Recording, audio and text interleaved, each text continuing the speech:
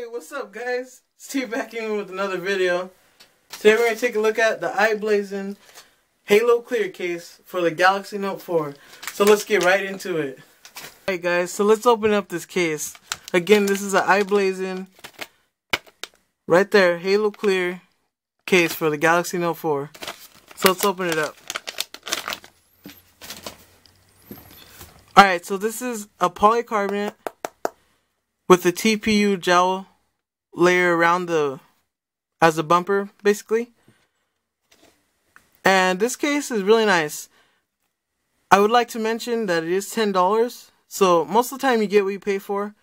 But I would say that this one is an exception because it is cheap but it's not really cheaply made.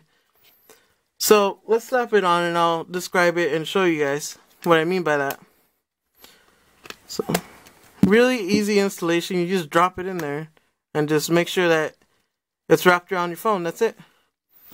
Alright guys, so right here, as you can see, there's a big nice cutout for the camera, your heart rate monitor, and your flash.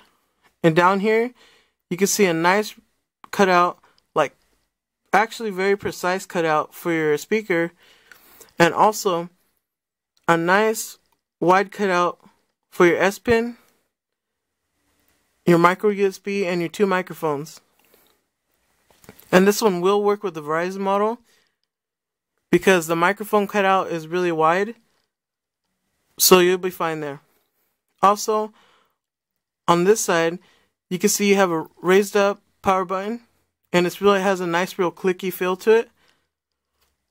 So don't worry about that being too difficult to push. It's really nice. Also, on top, you have a nice cutout for your headphone jack, your microphone, and your IR blaster. On this other side, you have nice up buttons for your volume up and down. And also, it does have a nice feedback to it. You can see it has a nice click. Really nice. Alright guys, so that's like an overview of the case.